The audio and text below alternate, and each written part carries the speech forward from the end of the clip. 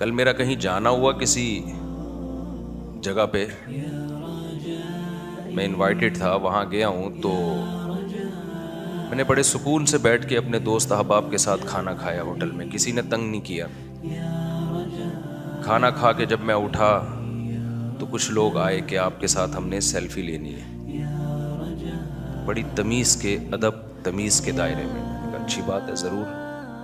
सब आ गए सेल्फी हो गई, मुसाफा हो गया, और सब। बड़ा अच्छा लगा जी मुफ्ती साहब आपसे मिल के मैंने कहा nice to meet you too ये दो चार स्ट्रक्चर नाइन्थ में याद किए हुए थे। खैर, वो भी खुद से याद किए थे। स्कूल का तो आपको पता है। खैर, मैं निकल गया। मैंने कहा, यार पब्लिक प्लेस पे बड़े दिनों बाद तमीज़ से बैठ के कुछ खाया है।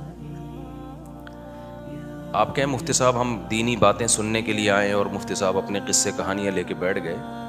मकसद किस्से कहानियाँ नहीं है। मकसद ये कि हम अपने अमल से अक्सर किसी न किसी को तकलीफ़ दे रहे होते हैं। तो मैंने कहा, यार, ये तो बड़ी तमीज़ से काम हो गया। क्योंकि मैं कभी जाऊँ होटल में तो खाने के दौरान भी बज़ दफ़ा लोग आते हैं।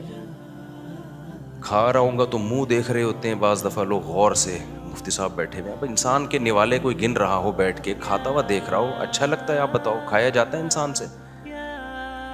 आप खा रहे हैं और कोई घूर घूर के देख रहे किस कदर इंसान को अजियत होती है? चुपके से वीडियो बना लेते हैं खाने। खाने के दौरान इंसान नहीं चाहता मेरी वीडियो बने। कभी मुँह टेढ़ा हो रहा है, कभी नाक साफ़ कर रहा है, कभी रुमाल से दाढ़ी पे कुछ गिर रहा है। बना रहे होते हैं वीडियोस अब उनको हम कुछ कह भी नहीं सकते, भाई, बेचारे मोहब्बत में कर रहे हैं। तो मैं जब कल कहीं मेरी इनवाइटेड था ना, मैं डिफेंस के किसी होटल में था, कोई काम था, खाली खापड़ खापे के लिए नहीं गया था। इस पर भी लोग कहते हैं, मौलवी खापे के लिए इधर उधर घूमते रहते हैं। हम तो हैं ही खापे के खिलाफ। खाना छोड़ दो। फोड़ फोड़ के ना अजाब में आ गए हो। खैर, ये टॉपिक आज में भी, आज के बयान में भी है। इसको मैं लेके चलूँगा इन तो मैंने कहा, यार, इतनी तमीज़ से उन्होंने कहा, यहाँ सब पढ़े लिखे लोग हैं। यहाँ सब क्या हैं? पढ़े लिखे लोग तो मोहब्बत का इजहार भी किया उन्होंने, मुसाफा भी किया, सेल्फियाँ भी ली। लेकिन उन्होंने इसका भी ख्याल किया कि भाई, सामने जो बैठा हुआ आदमी है, ज़ाहिर है वो आया है कोई, कुछ बातचीत के लिए, कोई मीटिंग होगी, कुछ खाने के लिए तो उसको पहले तमीज़ से खाने तो देखो भी, देखा भी नहीं किसी ने।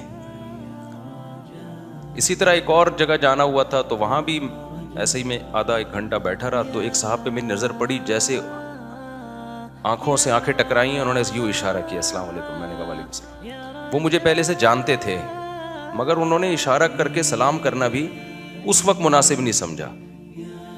जब आँख से आँख टकरा गई तो फिर तो आई कांटेक्ट हो गया ना तो उन्होंने कहा भाई साहब खैरियत? मैंने कहा, खैरियत अच्छा लगा, नाइस टू मीट यू। तो मेरा मकसद सिर्फ़ अपने बारे में या कोई वो बताना नहीं, हम तो नालायक लोग हैं, हकीकत है। थोड़ी बहुत अल्लाह ने इज़्ज़त दे दी, सत्तारी का मामला किया।